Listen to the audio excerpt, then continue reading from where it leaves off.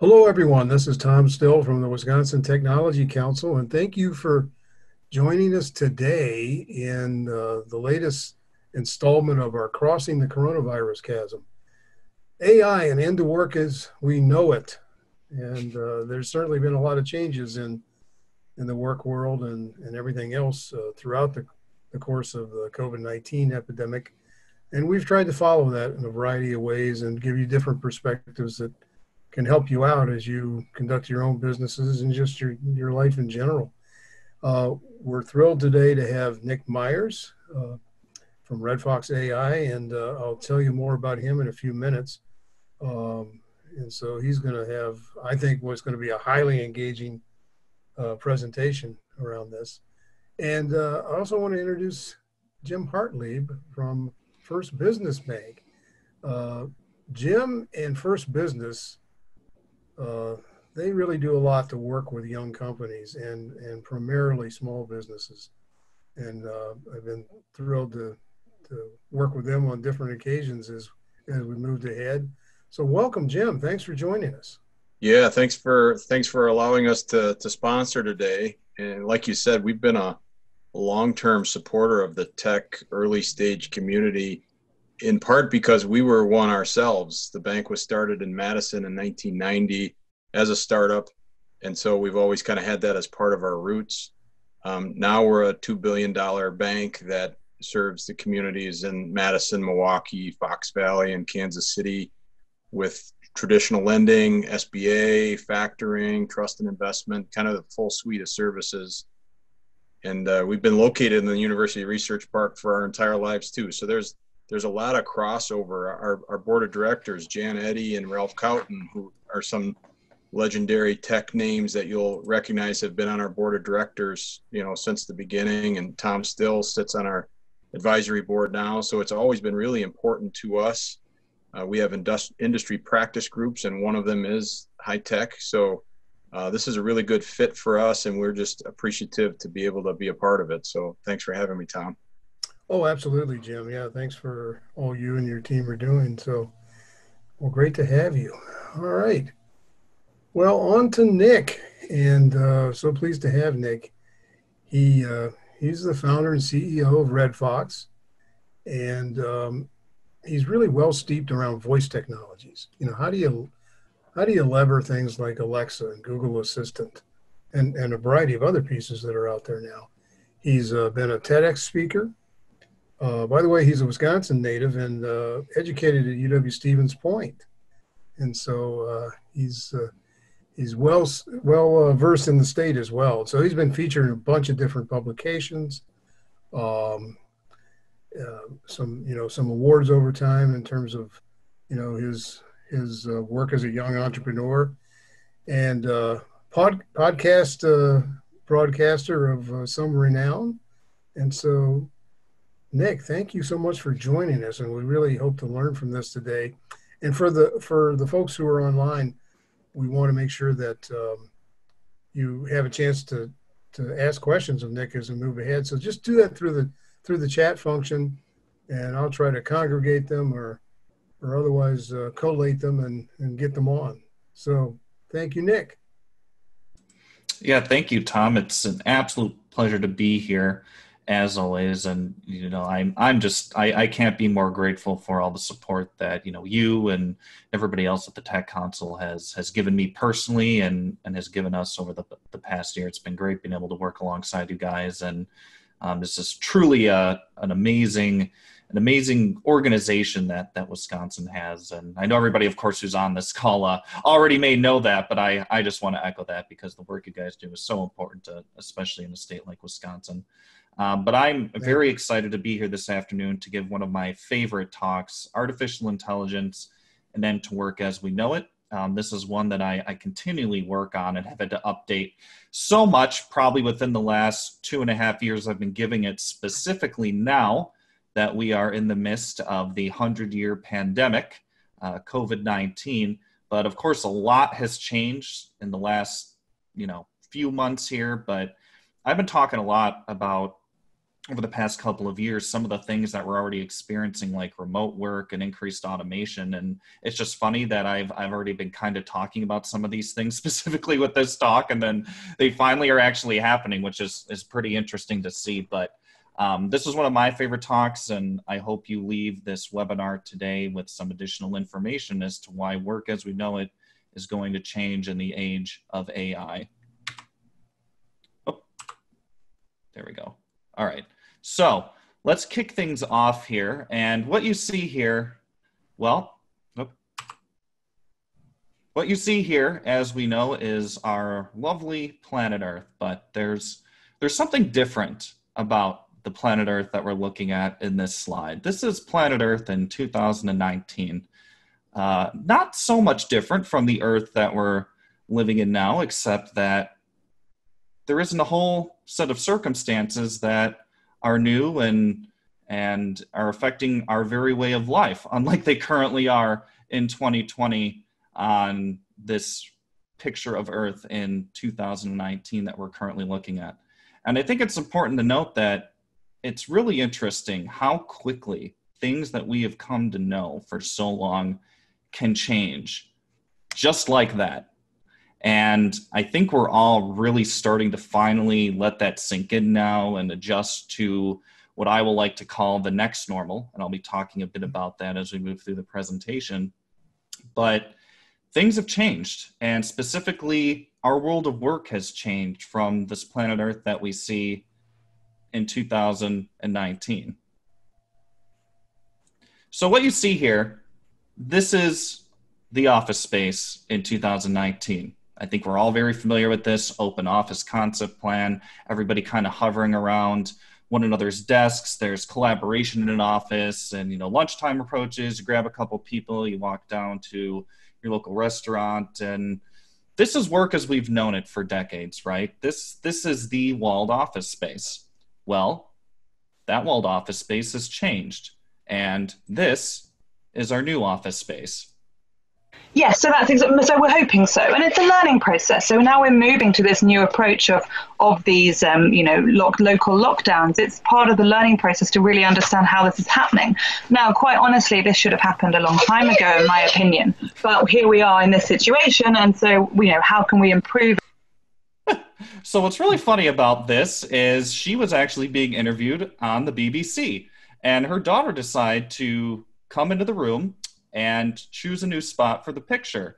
And I think a lot of people, maybe even some of you attending this webinar today, have had the pleasure of experiencing being in an important meeting or just trying to grind through some work. And you also now have to tend to your children. Um, so our office space has changed drastically. And anywhere you look around the world, this is the new office space. Now, what is this? This is a meeting.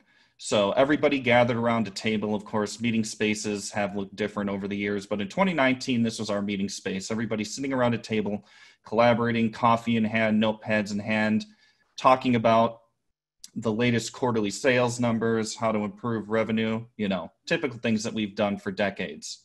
Well, this is the new weekly meeting. Goodbye. All right. Talk to you guys Bye. soon. See you guys.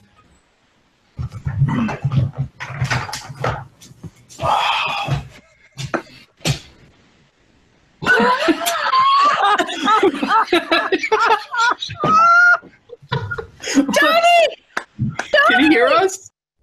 The new weekly meeting, digitally, of course, where anything can happen and everything is unpredictable. And I mean, look at us right now. We're sitting in one of the same exact scenarios here.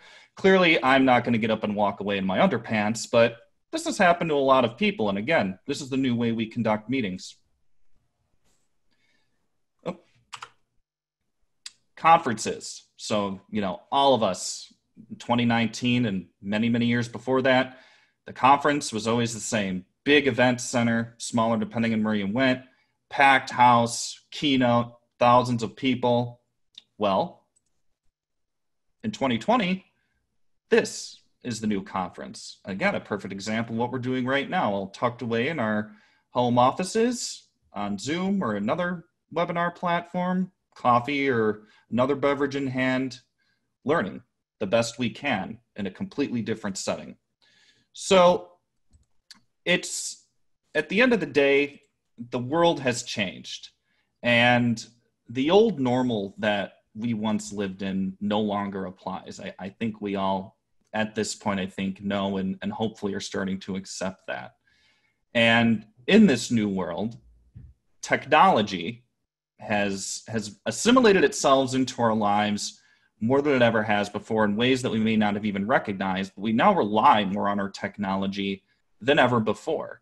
You know, I, I tend to think about imagine if something like this pandemic happened 30, even 20 years ago, we didn't have the internet speeds that we have now. We didn't have the connectivity. We didn't have smartphones. We didn't have uh, good video chatting platforms. I mean, it's it's truly incredible how much we have very quickly shifted our reliance to these different technologies and really what we once took for granted i don't think will ever be the same and i don't try to scare you when i say that but it's something important to accept as we look ahead at what's next what's in this next normal and i think the first step is realizing that what we did have will never be the same and not necessarily in a bad way either but the door has been opened for immense technological growth because of the pandemic. And this was going to happen regardless. But there's a lot of new reports coming out for some very smart folks, way more intelligent than me, who are predicting that we're going to see technology grow and expand across all sectors by 100x compared to the last 10 years.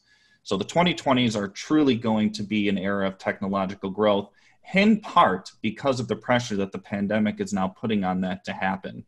And I would just like everybody to know as well this change, this change where technology drives everything distributed workforce, automation taking jobs and replacing them with new jobs, this change was inevitable. This was going to happen regardless. And in fact, many companies are already looking at doing this, but it was actually supposed to be drawn out over the course of 15 to 20 years. In our case, it got condensed into about two months. So that is why you are noticing more so the pressure and the stress that this condensing of the old way of doing things to our new technological future is having because it happened so quickly. Now, the era of AI has begun, truly. And AI has already experienced massive growth in the 2010s, in part due to the Internet of Things cloud computing and advancements in data storage and computer memory, all that contributes to the growth of artificial intelligence as we know it today. But in the light of the COVID 19 pandemic, the 2020s will really be AI's renaissance, if you will. And, and we've already been in a new gilded age, but this is going to be a gilded age powered by artificial intelligence. And truthfully, a technology explosion unlike anything that we've experienced to date on this planet and more companies and business leaders are investigating and investing in new technologies and artificial intelligence for good reason. I mean, if you look at robotics alone, there were already some companies aside from Amazon who did warehousing that were looking at onboarding the use of robotics and robots to help aid that process. Because if you look at a robot versus a human process, a robot doesn't need sleep, a robot doesn't have to eat, and a robot doesn't get sick. So that's been expedited greatly. Not to mention just generalized process automation, where different things, specifically in the finance sector, were already being offloaded onto various AI powered programs that could predict stock market fluctuations and investments better than a human being could. So this was, again, already happening, but in this new era of AI we're entering to, it's going to be at the front of everything that we do. And aside from business, more consumers are embracing artificial intelligence in ways that they don't even realize, specifically technologies like voice assistants that are AI powered to help make their lives easier in the post pandemic world. And we're already starting to see that. There's been a lot of new research that's come about in the past four months showcasing how many more consumers are embracing their digital voice assistants to accomplish goals versus the old way of doing things where you may have had to be in contact with somebody else. And like I alluded to earlier, the world as we once knew it will never again be the same. And again, I, I do not truly mean to strike fear when I say that, but that is just the reality of where we're at and where we're going. And the faster that we accept that and begin to look ahead and how we can adapt and improve upon things that we've been doing in this new era of AI is how we're going to succeed.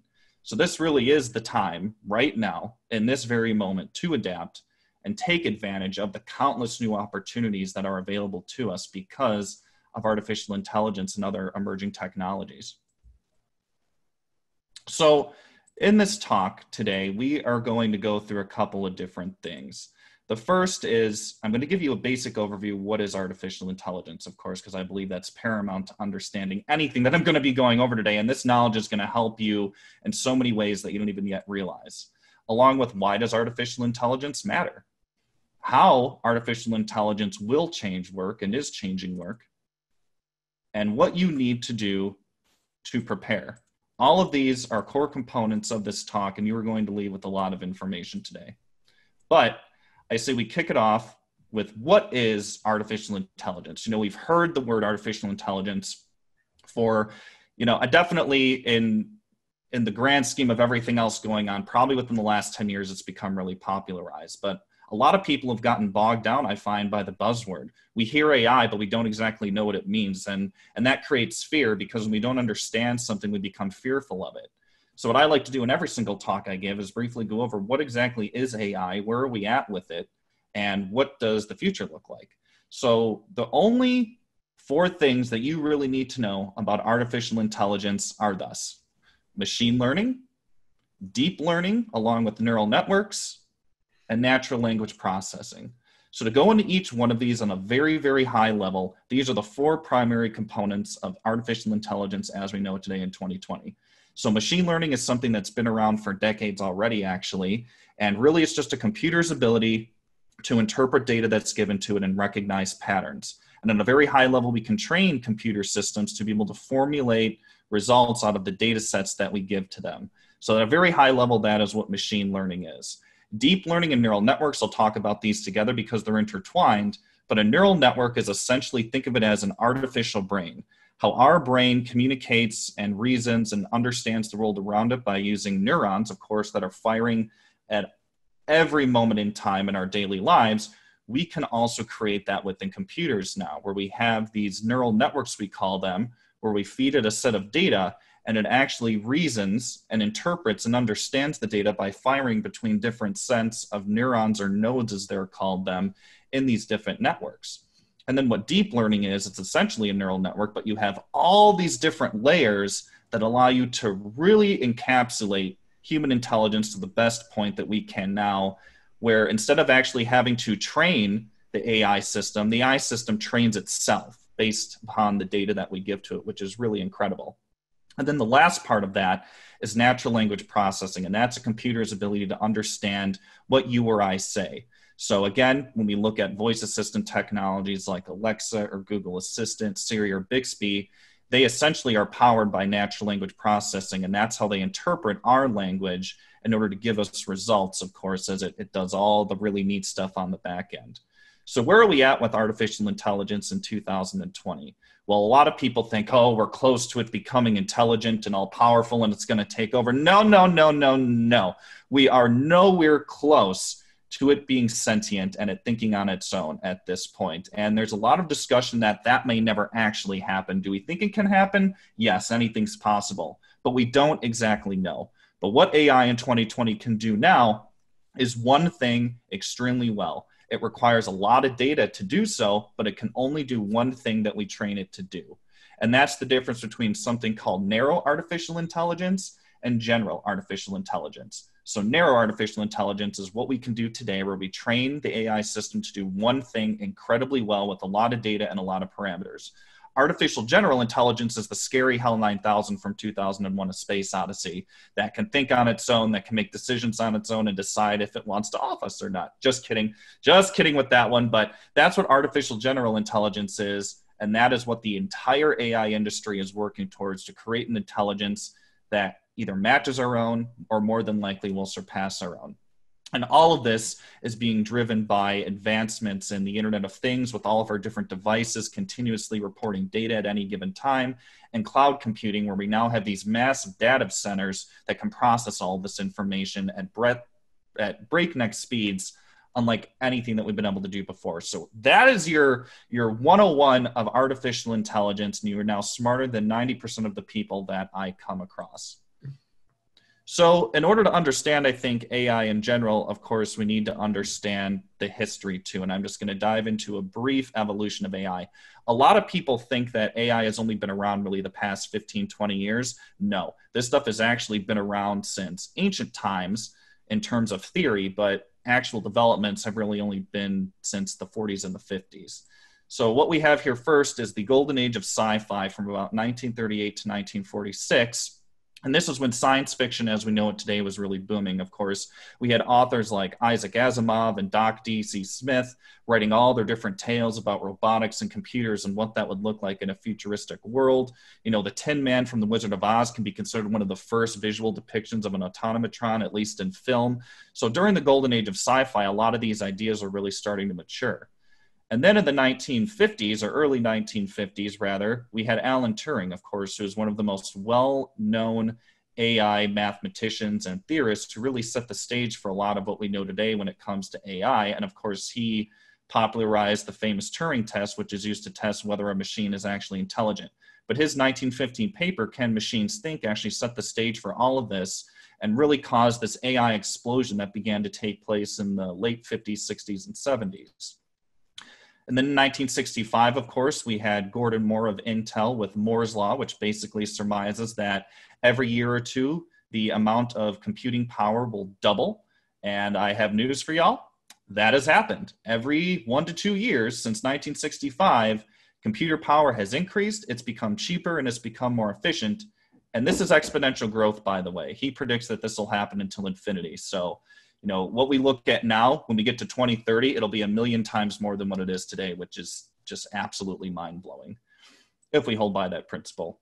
In 1980 we had edward feigenbaum who introduced his expert systems which was really you know a computer program that mimicked the decision making process of a human expert. These were really some of the the early machine learning models. Um, and these systems were used widely in many industries then in 1997, we had IBM's Deep Blue defeat Garry Kasparov, who was the world chess champion. This is the first time an AI computer system, of course, could do that. And this really is what began to popularize artificial intelligence as we know it today. Then in 2009, Google actually developed the first autonomous car in the forms as we know them with their Waymo project, and it leveraged Google Street View technology to do so. And then in the 2010s, we had just a boom in cloud computing facial recognition, and voice technology.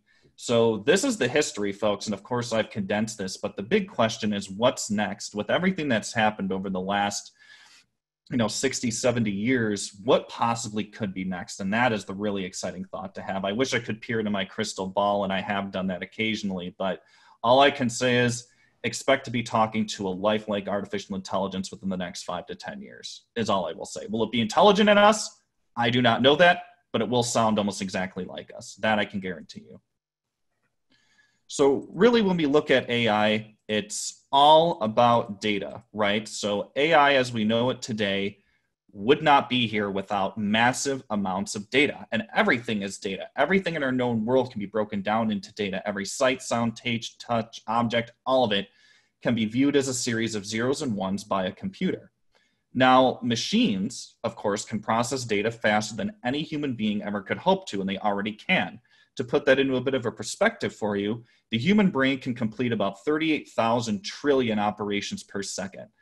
That's a lot. Our brains are very efficient, very powerful. But if you look at something like the Summit supercomputer that IBM developed a few years ago, that can process 200 quadrillion operations per second. And it's interesting to note, too, that Summit Supercomputer has already been used during the COVID 19 pandemic and vaccine development. So we already have technology able to process more than our own brains can, and that is just a signal of the future. So we're already being outpaced. But what does this mean for professionals across all industries? Well, we now can sift through large amounts of data at record breaking speeds. We've had data to work with for many years, but it's been so hard to actually compile and sift through all that. We can now do it with some of these AI programs. And specifically, when we look at the intelligence and analytics that have to do with sales figures and marketing, um, IT, there's so much data there. and machines can sift through it all. They never get tired, they never get hungry, never have to take a toilet break. They can sift through it all. They can reason and give us results that helps us run our businesses more efficiently. And we are just on the tip of the iceberg of this as well. And this is truly what the value is going to be as we head into the future with data in mind. Now, data is the new oil. It truly is. Data is the most valuable thing on planet Earth at this given time. And there is a reason why these four companies I have on this slide are sitting here. Well, let's take a look at some of their values quick. Google, $1 trillion company. Facebook, $650 billion company. Apple, $1.3 trillion company. Amazon, $1.5 trillion company. Combined, these five tech companies are worth more than the total GDP of Germany and Japan, respectively. That is crazy to think that that is how wealthy and technologically advanced these four companies are. And they are the new oil companies of the Gilded Age. You know, we look at Tim Cook, we look at Sundar Pichai, we look at Mark Zuckerberg, we look at Jeff Bezos. They are the new age Rockefellers, Carnegies, Pullmans, and Vanderbilts and, and Fords, really. And everything that these companies do now and are doing now and have been doing for the last 20, 30, 40, 50 years is paving the way for our future. And of course, we can argue on both sides on what's good and what's bad. But essentially, these are the ones that are the driving force behind it all. Data is the most valuable asset on earth. The more data that you own, the more data that you can manipulate, and the more data that you can manage, that is where your value is going to be throughout the 2020s, the 2030s, the 2040s, and beyond. That is the new value. So now that we've broken that down, let's talk a bit about how work has changed. So we look at the changing nature of work, right? Where the concept of work and the spaces in which we work have changed dramatically over the last 20 years referencing some of the slides I had earlier, how that can change in less than a year, right? So what used to be suit and tie when you went into the office has now become button down and jeans, and in some cases from that one video, button down and boxers. And cubicles and walled offices are now co working spaces or working remotely, specifically working remotely. And that, of course, is not going to go away anytime soon. What used to be a steady job for 40 years with one employer is now a new employer on an average of one to three years. And the gig economy and freelancing has increased tenfold. So, what the point I'm trying to make here is a lot of people think, oh, you know, work has been pretty stagnant, you know, since it's really been, you know, as we've come out of the the, the early industrial revolution into more of the 50s, 60s, 70s, and 80s, work has been changing it just has been a slow burn of it changing versus everything we've had to deal with over the last three months and it just being shoved right in our faces. But this stuff has been happening, and I think we all can agree that we've been seeing that. And really, personal computers, smartphones, and the internet have been advancing this push towards the changing nature of work. I've been saying for a very long time, and again, it's finally coming to life, that your new office space is a laptop, an internet connection, and a smartphone. And you can work anywhere. And we're seeing that happen today, of course, in light of the pandemic. But I think a really interesting thing to take notice to as well is one of the big things about the nature of work has been the value of a paycheck. Well, it's interesting to note that through these generational shifts, of course, as we look more towards early Gen X, millennials, and Gen Z, they actually do not value a paycheck as much. They value corporate citizenship and flexibility with their jobs and their lives.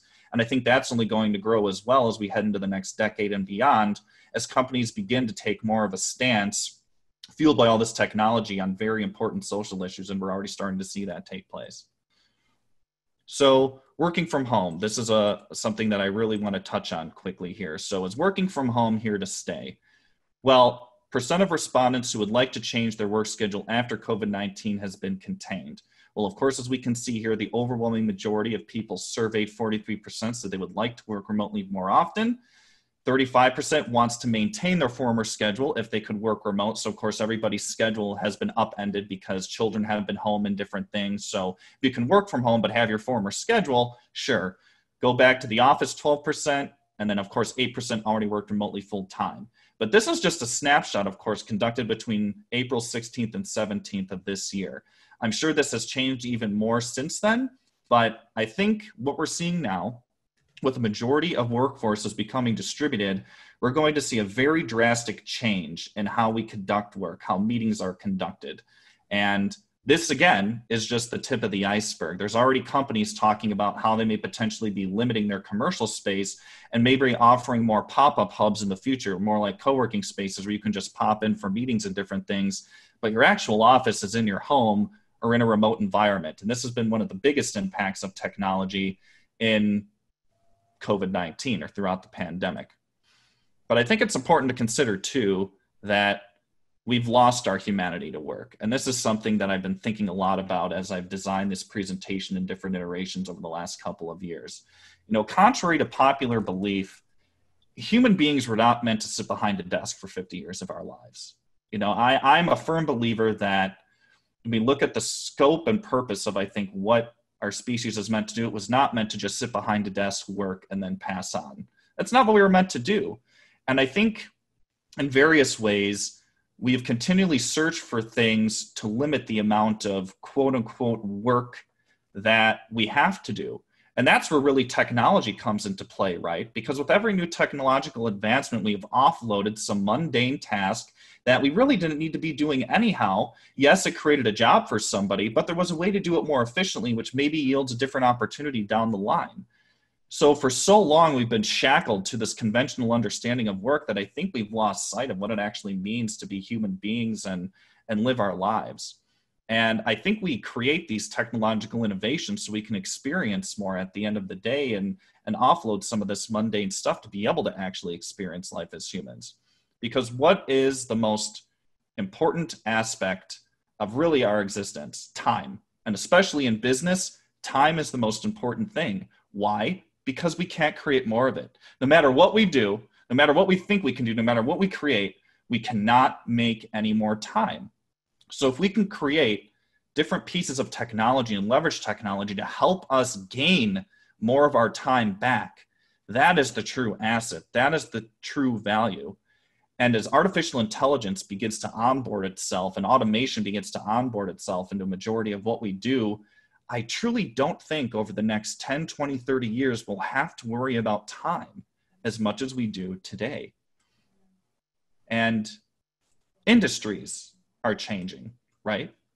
So every industry will be impacted by artificial intelligence. If you're somebody sitting here, no matter what industry that you're in, if you're thinking to yourself, oh no, I won't be impacted by AI, yes, you will. Every single professional no matter whether you're a gig worker or a corporate CEO, you will be affected by artificial intelligence. And again, going drawing back to my point where the goal of AI, allowing us to put our humanity back into work and, and reduce these mind-numbing, mindless tasks, is the true goal of automating so many of these different things in onboarding AI. You know, we have a large concern right now where a lot of people think AI is going to take all of our jobs automation is going to create an even greater disparity in economic, you know, the wealth gap that we've all been seeing happening here. Well, I'm here to give you some cold hard facts, and I, I'm here to tell you jobs will not disappear. They are just going to change, if that makes sense, especially when we start considering that jobs are going to be birthed out of this era of AI that we haven't even thought of yet. And I'll get into a statistic in a second here that'll showcase that a bit better. But jobs are not going to disappear.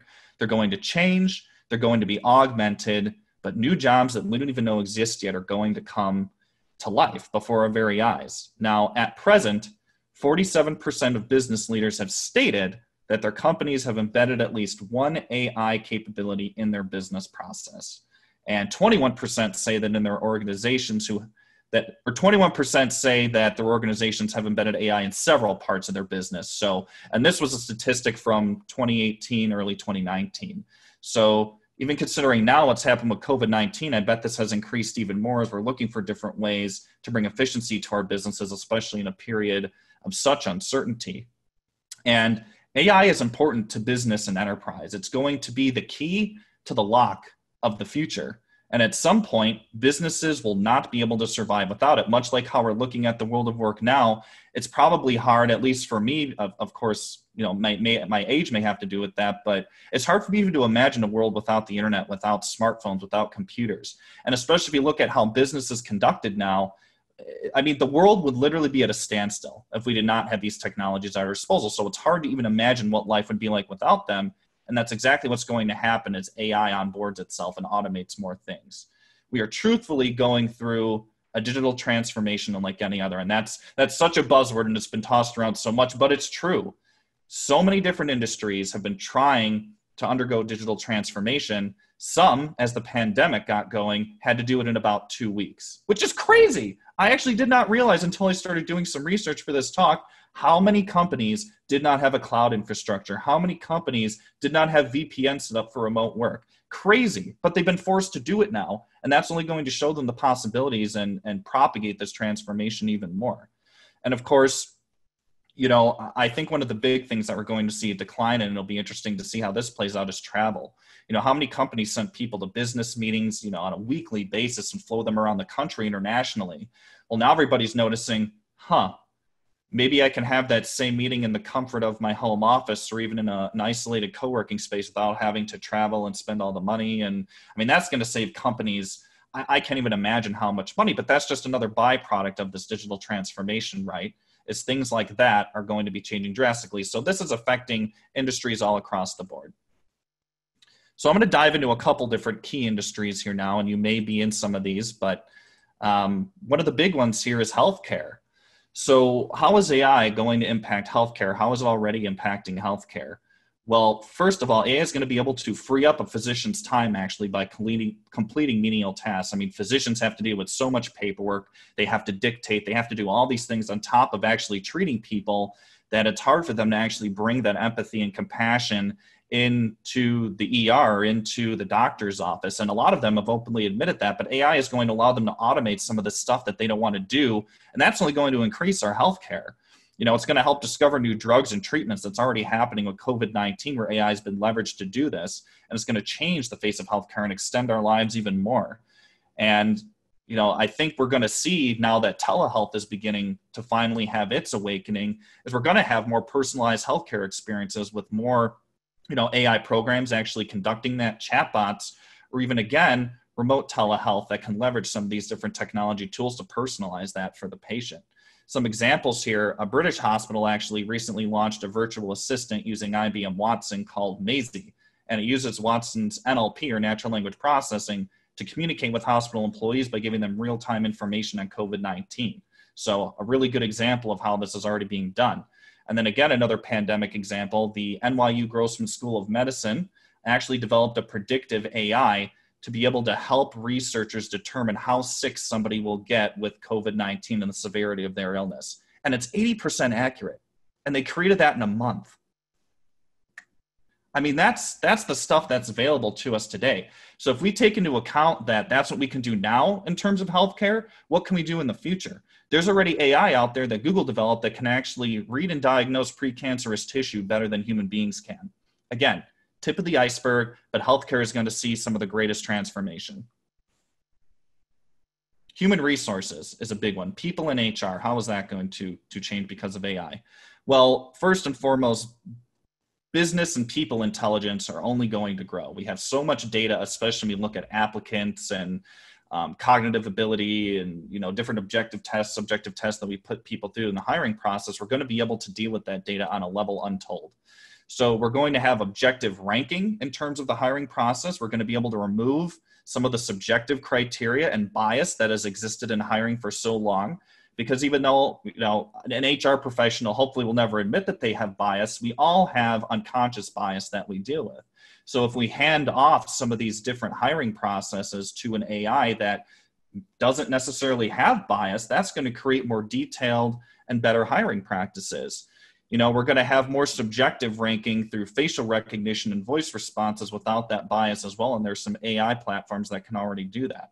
So overall more informed and smarter hiring decisions are on the horizon because of ai and some examples of this we already use some different intelligent resume tools with high levels of ai to screen candidates. That's in a majority of different hiring tools that are available today. There are some companies who are actually using intelligent chatbots in their hiring process to speed along that process where they can communicate and get real time information from the chatbot versus having to deal with an actual HR professional or human resources officer. And then, of course, virtual interviews with actual digital avatars. There's a company out there now that actually does this where they create a lifelike human AI virtual avatar that interviews people and it can recognize emotion, interpret speech using objective data analysis. Again, helping to free up time for more important tasks for HR officers and offloading that onto technology. Marketing, huge one here, and one that is near and dear to my heart. So, marketing, so much data, right? Especially now with social media, all the different analytics tools that we have available to us are just incredible. But with marketing, we're going to have more personalized messaging even more than we've seen now because we're going to be removing with these AI powered platforms the guessing game out of what people want and we're going to know what they need actually. And I'll be honest, I've received some real interesting Facebook ads over the last couple of weeks that are so detailed to my preferences. It, it just amazes me. Kind of scary, yes, but it, it also piques my curiosity because it really hones in on what I want which reduces my decision fatigue, which makes me a much happier consumer, which means their marketing is working. And it's going to allow us to invoke a bit more of our creative spirit too when we can really dive into these analytics and AI can give us insights into these analytics to be able to adjust our creativity more on the marketing side to be able to capture people's attention. So we are again, we already see examples of this in marketing. Uh, voice assistants are a huge one. The Amazon algorithm, every time you go and shop on Amazon, that algorithm recommends you a set of products that you didn't even know you needed, but you probably buy. I've done that because they're just so spot on. Social media, every time we use a social media platform, we're engaging with artificial intelligence. I like to remind people of that. And then, of course, data visualization and some of these different insight tools to analyze some of these metrics and all of this different campaign data that we have some companies are already deploying some high level AI tools to do that at a, at a reasonable cost. So that's how it's going to affect marketing, and that's going to be very big. And then, of course, we have retail. So, you know, the nature of shopping as we know it is already changing. We're already, you know, retail was already going through a very large shift. It's only going to shift more in light of the pandemic and as we enter this new era of AI we're already seeing this start to happen and right before our eyes. You know, Amazon has those Amazon Go stores that are cashierless that uses sensors and measurements to actually know when you've purchased a product so you don't even have to check out with the cashier. We have fashion outlets like Stitch Fix that use an intelligent algorithm to determine your style profile and then communicates with an actual stylist to give you clothes that are tailored to your preferences. You know, the use of voice assistants to research products and conduct transactions within seconds that would normally take a couple of minutes or even longer, and then actually learn about that over time to recommend even more personalized products to you is already changing the game. And this is really the future of retail. We think it's on demand now. It's only going to be more on demand and more intelligent when it becomes more on demand. One example I like to refer to is Target actually developed an AI model, I think it was last year, that could predict teenage pregnancy before the teenager actually knew they were pregnant based on their purchasing habits. And it was right. Scary, I know, but that's the scope of the data we're dealing with. That is how nitty gritty and niche we can get with it. Um, and again, I draw onto Facebook ads and how hyper personalized those are. You know, I got an ad I live in Wisconsin. My mom lives in Illinois. I somehow got an ad with a mug for Mother's Day. It told me to buy for her, saying, Your son is never too far away from you, showing stars in our respective locations. How did it know that? Hyper personalized data from all my different profiles. That is the future of retail, and we're already experiencing that. And the last, um, finance quick before I get into the last one. So better financial security, right? Of course, banking is a is an industry that has vulnerabilities all around the board. AI is going to be able to make that smarter and more managed, more efficient and calculated investments that are actually going to lead to more economic growth around the horizon and is really going to automate everything that involves spreadsheets to be able to actually put our brain power to more of the nitty gritty nuts and bolts stuff versus having to just do basic high level things that we shouldn't have been having to do anyhow. So some examples of this already happening in the finance sector, fraud detection. You know, anytime you get a notification about your debit card or credit card or suspicious activity, that is actually an AI that is actually going through all your different transactions and purchase history to determine that. Intelligent blockchain networks, whole other rabbit hole I could go down, but just know that transaction and peer-to-peer transaction is on the way. That's going to be AI powered with blockchain Then we have customer service, many finance companies and banking defaulting to intelligent customer service platforms where you're talking to a, you know, a robot on the other end that sounds lifelike, but it allows them to reduce operational costs and provide you with a better experience. So this is just a summation of how that's even impacting finance. And last but not least here, even of course the tech sector. So you know, we think of how can technology, you know, the tech industry that's generating artificial intelligence, how can that be impacted by it? Well, I think this one really speaks for itself. You know, AI is impacting the technology industry more than I think all the other industries combined because it's at the center of everything they're doing. It's at the center of every product. It's at the center of every service. It's, you know, Microsoft has said it's a part of our future. Apple said it's a part of our future. Of course, Amazon has ingrained that into their DNA as a company. It's at the core of everything that they're doing. So if you look at even some of the hardware of this, many smartphones today are powered by intelligent chips. The iPhone is powered by a machine learning chip. You know, we have cloud computing AI tools and AWS, Azure, and Google Cloud that the companies are letting us use at reduced cost because they know that that's going to be a part of the fabric of everything that not only they do, but that everybody else does as well. And then, of course, the Internet of Things with all of our different devices made by the technology industry reporting back data in real time to allow us to develop these models more effectively. So that is how the tech industry itself is being impacted. So AI is impacting everyone. Hopefully that came across enough with all those different industries that I just dove into there, but it is impacting everyone. It's going to change everything on a global scale. It already is. COVID 19 has only accelerated that. And the scope of what it means to be human as we head into this next era of AI is going to change drastically. There are going to be a lot of ethical considerations, there are going to be a lot of socioeconomic impacts, societal things. We're going to have to adjust everything that we've known to meet this new future of AI and automation. And I think when the scope of our work changes, when we can finally offload all these different mundane, menial tasks onto AI, onto robots, onto automation, I think we'll finally be brought back to our roots and we're going to go another, we're going to undergo a creative renaissance period unlike anything that we've ever dealt with before. And I'm talking art, literature, film, because we're going to be able to focus more of our attention on these different aspects of our humanity. So, one statistic that I always like to show here, and this was issued by Dell in 2017, is that 85% of jobs that will exist in 2030 haven't been invented yet. Now, by 2022, which of course is now about a year and a half away, AI is expected to create 133 million new roles. Are we still on track for that? I'm not entirely certain. It all depends on how the rest of this year shapes up and how many more companies decide to onboard some of these different tools. But that's what the prediction is. Now, it'll create 133 million new roles, but also could cause 75 million jobs to be displaced. Displaced, not eliminated. Again, there'll be new job growth. It'll be augmented. We will have to adapt. But if you look at that statistic, AI could create a net new 58 million jobs in the next few years. That's a lot. And I think we're going to need that, especially as we're now facing record unemployment and different roles for people need to be created that technology can help fuel. And we're on track for that. So, this is how to prepare the culmination of everything I've talked about. This is how you are going to prepare. So, first and foremost, embrace technology. I think that is just a given.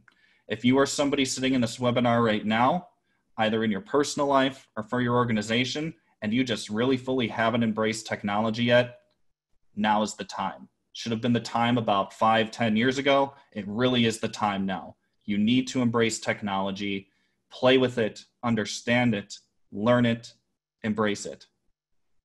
Educate yourself and your team this is one of the most important to dos or how you can prepare now is education educating yourself and your team about the different tools out there that are available. Again you don't need to become albert einstein about artificial intelligence but you need to understand what it is how it works and how you can apply it to your business because at some point you will be asked about it. Even if you're not a decision maker it will trickle down and it will affect you at some point. So the more educated you can be and the more your team can be educated the better off you're going to be when your organization does start onboarding more of these AI tools.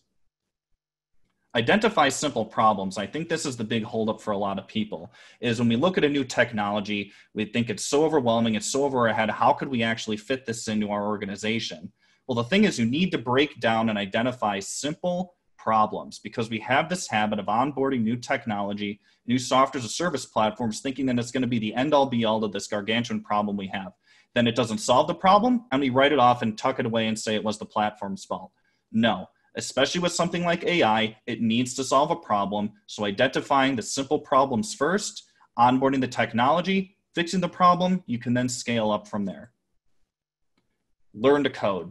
I'm not saying become a master programmer, but just the basics, just a basic understanding of C sharp, C, JavaScript, Python, all of these different computer languages. There is a flavor for everybody. You don't need to be a master at it, but just understand the basics. Because the real value, again, as we head into this AI powered world, is people are still going to need to manipulate the computers and work alongside them. And if you know how to do that, your value is going to increase 10x. And to close it off here, strengthen your EQ. You know, emotional intelligence is something that I am still shocked is very underrated in the world of work today. But to me, it is going to be the most important thing and should be the most important thing, especially when everything is automated. One of the real value is going to be how you perceive the world, how you attack problems, how you critically think, how you can leverage your EQ to conduct business and build relationships more effectively. So, strengthening your EQ now and recognizing how you can improve upon that is going to help you and your organization succeed moving forward. So, what does this all mean? As I've gone through, you know, so much different stuff in this last hour here. Well, in the future, sooner than we all think, machines will replace human jobs. That is a fact, it is a certainty. And this is what machines have done, though, since before the start of the Industrial Revolution. You know, think about when we were an ag based society, what the Industrial Revolution did with some of these different tools to help us automate even our ag culture. It's the same exact thing, just a different time period. Now, sometime within the next 30 years, when computing power is a million X of what is available today based on Moore's Law, we're going to encounter an economic singularity.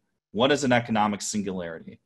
Well, an economic singularity, or the economic singularity, which was coined by computer pioneer John von Neumann, um, is when humanity approaches some essential point in our history of our race beyond which human affairs, as we've known them, could not continue.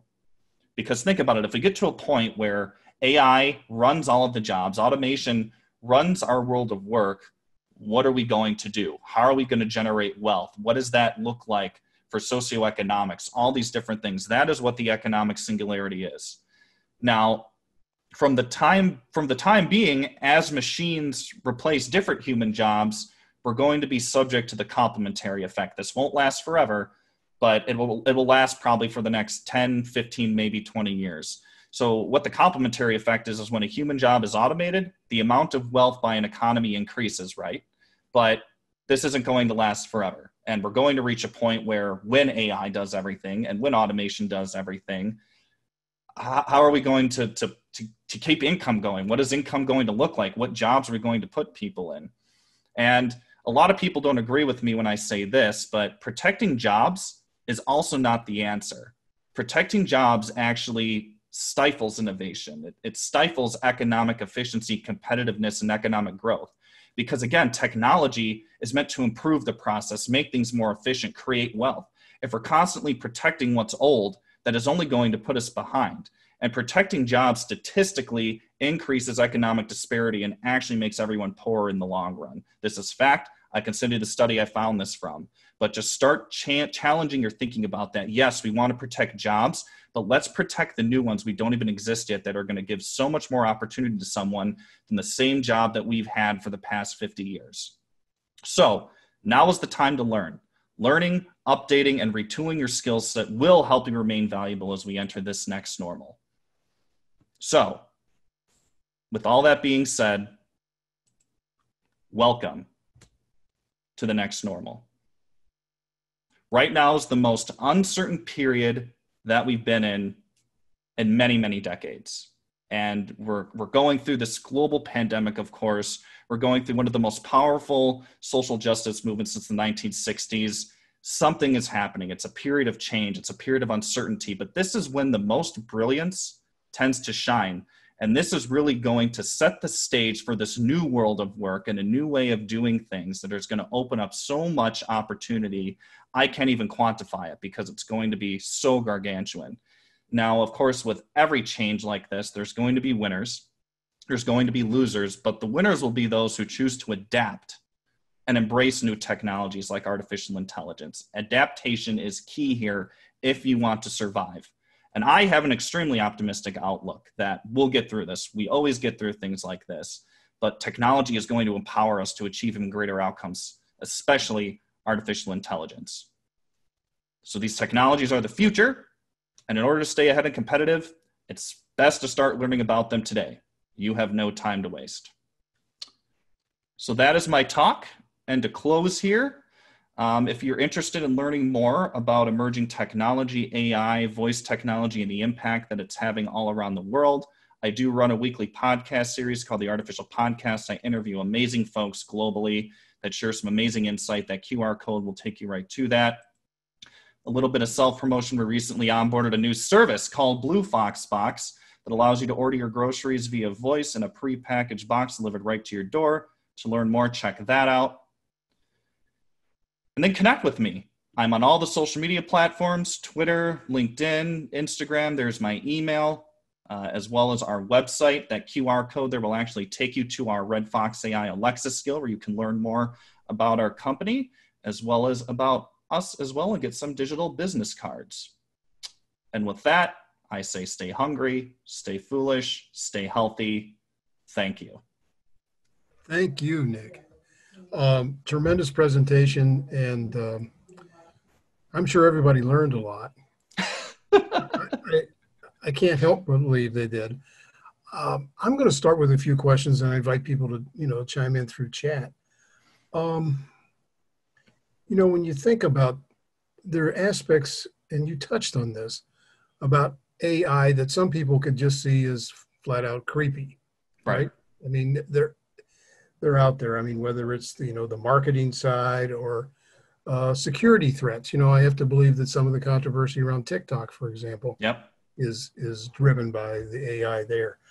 Um, the notion of uh, can AI in human resources take on biases that are unintended that perhaps the rest of us have. Um, talk about that a little bit and, and how we're going to work through that as as humans. I mean, it's the potential is enormous as you just described, but there are some pieces that probably still have to be figured out. So if you could spend a little bit of time on that.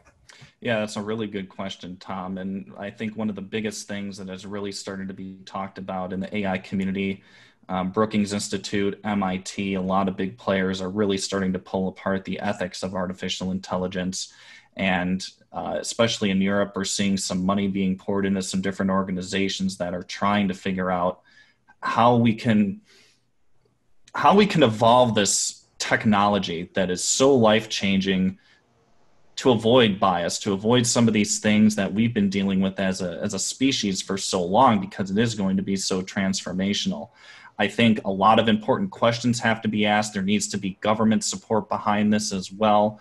But I think the biggest challenge that we have to fully implementing this in the way that we need to is the ethics side. And then, of course, you brought up the point, you know, we look at something like TikTok and, and the data side of that. I mean, data privacy and security has been a topic of conversation as long as I can remember. And of course, one of the one of the things that's interesting about that is everybody kind of has their own stake in data privacy, right? You know, and I think that's what you know we GDPR and CCPA and some of those regulations were a good first step, but the real work has to be done with the tech companies. Um, of course, they will say that, oh, yes, we believe in data security, data privacy, all this stuff. But if you look under the covers, not much has really been done outside of what they actually need to do on a basic level to ensure that data is secure and data is private. A lot of people actually approach me after I give some of these talks and think, oh, well, you must be okay with all of our data just being collected and used without us knowing. No, I'm actually completely anti that. But at the same time, we've evolved to the point where it's become so normal in our lives that it's something we just have to accept. But at the same time, that does not give us a right to just sit there and accept that. One of the organizations I'm involved with right now, called the Open Voice Network, we're actively working on privacy and security with voice technology specifically and coming up with a position paper or recommendations or standards that we can pose to say when you're creating an AI powered voice application, here's what needs to be done to ensure the data security and privacy of what you're collecting on your customers or users. So I think I may have gone off on a tangent there, but I, I think at the end of the day, when we look at the grand scope of AI, ethics is going to be at the center of all of this, and these discussions need to happen now.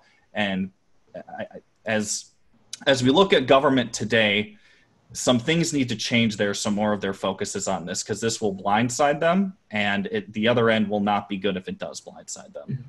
Well, almost in, on cue, we have a have a question that, that takes it into this uh, direction. Ooh, fantastic! Yeah, with us today is uh, Jason Fields.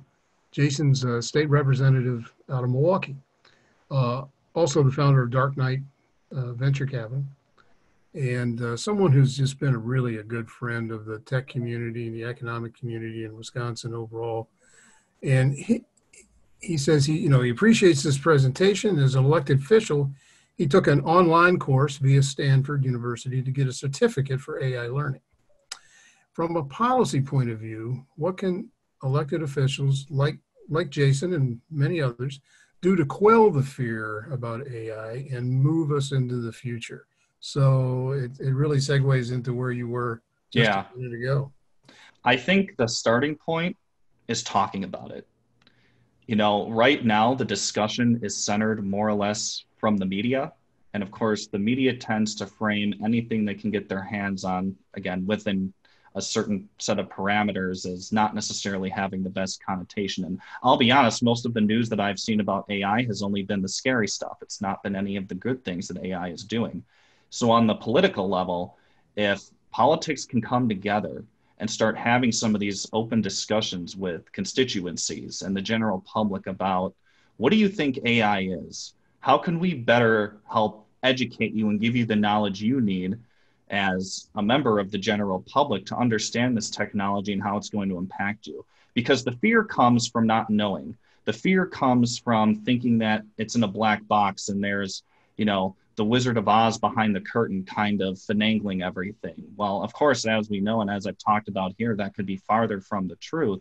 But I think opening up the discussion in a comfortable setting for people so they can vent their fears, vent their frustrations. You bring in folks on the political level who have knowledge in some of these technologies, or even you use external sources, whether those be scientists, professors, and you assemble them and you have some of these different discussions publicly and that's going to transcend i think so many different avenues and i think really make people feel more comfortable with this. And i i think that's just been the biggest holdback it's just not talked about publicly enough. And again we're dealing with a couple of things right now right? But you know i think beyond that this discussion really needs to start taking place and it needs to start coming from politics. And you know related to that and you touched on this during your presentation um, one of those fears that may be out there is that ai and and maybe some offshoots of that, robotics, will destroy jobs versus create them. You cited mm-hmm. statistics that show the opposite, and and in fact, um, as you noted, if we worry too much about protecting jobs, we can stifle innovation. Yep. And let's let's worry more about protecting those jobs that are yet to be born, in a sense. Right. Um, how can how can public policy and public officials address that fear? Because you know there are a lot of people out there right now, of course, without a job. And right. They, they may be tempted to think that it's only going to get worse. Right. Well, that's a good question, and you know, honestly, that's kind of a catch twenty two right now, right? Because you know, I say that you know we can't solely focus on protecting jobs that we've had because that's going to stifle innovation from creating new jobs but it's hard to tell that to somebody and give them comfort when the new job doesn't exist yet so mm-hmm. it's a bit of a catch 22 but you know, I'm trying to think of a good answer to this question, and, and maybe I don't have an answer, but I, I think again it, it falls back onto education. And I think if the picture can be painted well enough to people who currently are unemployed right now, or people who just generally think that technology is going out about anything and, and just helping educate them and show them that this is what's possible. If we all work together, we all understand it, and we all implement it correctly, this is what's possible. This is how things are going to boom. This is how the wealth is going to be created. And I think that could change the tone of it. But specifically, you know, talking to to Joe Smith, who's unemployed right now, saying, "Oh, we don't need to worry about your job because we're trying to create innovation for artificial intelligence to come and automate and create." Well, it's just hard to explain and maybe not the right thing to do now. But I think starting small and having some of the smaller discussions is probably the best way to approach it because it is a catch 22 and it is going to happen regardless. These jobs are going to get created at some point as more automation takes hold. It's just a matter of when. And, and, and of course, education, you've re- referenced that broadly and specifically. For people who perhaps in the past didn't see as much value in education whether it's general education, tech education, whatever it might have been, vocational education, is AI going to make whatever type of education it is more important in the future? Are you, are you talking about a specific type of education, a specific subject, or just broadly? I think just broadly. I mean, it yeah. can be in, in any of those sectors, it seems to me. But, you know, whether it's vocational educations you might receive through one of Wisconsin's fine technical colleges, or or uh, simply making sure you have a high school degree, and you know yeah. all those kinds of pieces and how they fit together. Yeah, I think you know as we enter this new world where where AI begins to automate more things, you know, we look at the education system that we've had for you know who knows how long, and the whole purpose of the education system as I see it, again, this is just my opinion to be wrong, is to prepare you for a career in the working world. But if we're looking at a future where careers don't necessarily exist because a majority of jobs are automated, how does that impact the education system? So that's where I think it's actually going to start. Um, we're going to start seeing a transformation where schools and tech colleges and different things may not necessarily focus more on, say, like, you know, you have your accounting class or you have your, you know, your your business development class i'm just i'm speaking generally here but i, I think it's going to to maybe shift a bit more towards the and and you may be surprised to say this the philosophical mm-hmm. teachings the creative thinking the critical thinking because if the ai is doing all of these you know jobs that you can be trained to do from tech schools or even collegiate universities what is the value still going to be? Well, the value is still going to be that critical thinking that we have as humans that we always should be working on improving to make the technology itself better. You know, I, you know, we're still going to figure out how to get out of our own solar system. The AI is going to help us, but we're going to be the ones who figure that out ultimately, I think. Um, but we just need the critical thinking skills and the technology at our disposal to even be able to come up with something like that. So that's how I think the education system is probably going to change. Not to mention, I think it's going to work in tandem with some of these new tools. We already are seeing that now, of course, with remote and e learning going on. I mean, even before then, all of my cousins had Google Chromebooks that were issued to them by the school that they were using to complete assignments and different things. I could honestly see there being an augmentation between a teacher helping students, and then maybe you have an on-demand AI assistant or chatbot that could ask, you know, you could ask questions to, receive information, do some other basic stuff that you would otherwise have to go to the teacher for. So those are just some different things that I can kind of first see how that's going to affect the education system. But that one is really an open book. Um, that one, that one's going to be a mm-hmm. an interesting discussion. Very good. Well, we have uh, we've gone over a little bit. Uh, that, that's great, and it's and and I think we've we've uh, held those who have been on just because of how interesting it has been. So, thank you, Nick. I really encourage people to, you know, take a look at uh, at Nick's uh, podcast and some of the other things that he can offer. And uh, uh, this is recorded, and so uh, for those who are on and want to, you know, want to see that and review some of that information, that's great. Jim Hartlieb and First Business Bank, thank you so much for for sponsoring today and I'm sure you're going to run out and start making some of those changes that uh, in the financing industry that, that Nick just uh, just talked about. Starting so, tomorrow, right? Starting tomorrow. Absolutely. Yeah, very good. So um, coming up, uh, we're going to have a presentation on July 28th, one o'clock, featuring uh, people, some of the experts at Epic, Exact Sciences, and Promega which have been working together uh, in a couple of different platforms as they have been a part of the solution or trying to be a part of the solution around COVID 19. Uh, so I think this, um, you know, these are excellent resources here in Wisconsin, and the fact that they've come together around it, I think, speaks a lot for not only our culture but the level of expertise that we do have in this state. So thank you all for joining us today. Uh, really appreciate it, Nick. Again, as always, great seeing you, and I never fail, fail to learn something. Listen. no, thank you again so much for having me, Tom. It, has been my pleasure. I, as you know, I love just diving into all this. It fascinates me. So it, it's it's wonderful. All right. Well, thanks to everyone, and uh, we'll hopefully see you all again soon. Take care.